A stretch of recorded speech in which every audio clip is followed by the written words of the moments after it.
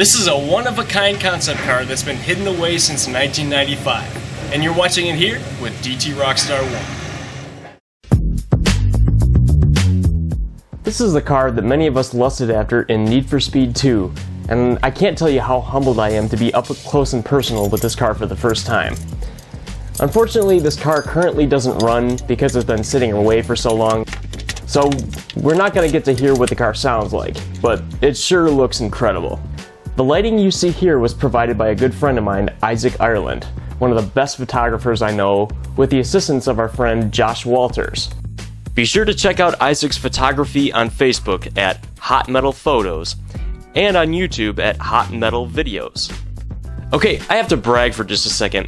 When we were finished with the car, and the other two guys, when the other two guys were pushing the car back into the building, I was in the driver's seat steering it. So you can kind of say that I was driving the Ford GT90. I'm sure people have done better than that, but that's my claim to fame right now. Pushing the car was not easy because it was very thick fiberglass and it weighed about 2 tons.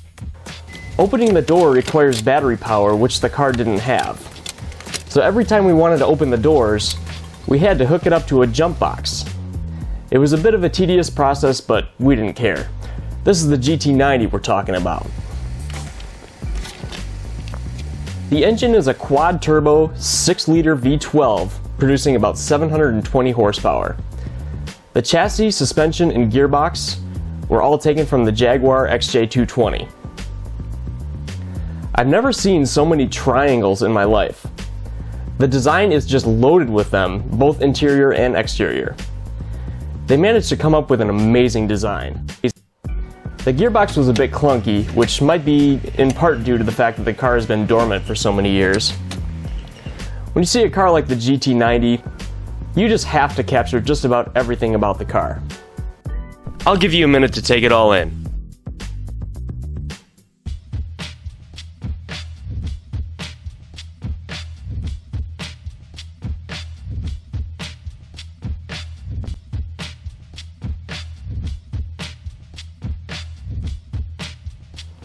Josh and I both have the diecast model of this car, and he pointed out that on the model, the area where the license plate would be looked kind of like static on a TV screen. So he took a look at it on the real car, and it turns out that it was a bunch of signatures from the people who were involved in the car. A nice little Easter egg there. I still can't believe we got to do this.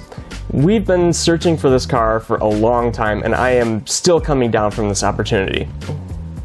I'd like to thank the people who allowed us to see this car, as well as Isaac Ireland, Josh Walters, and Steve Schweitzer for being involved in this photo shoot. Don't forget to check out Isaac's photography on Facebook at Hot Metal Photos and on YouTube at Hot Metal Videos. This is DT Rockstar 1. Thank you very much for watching, and we'll see you next time.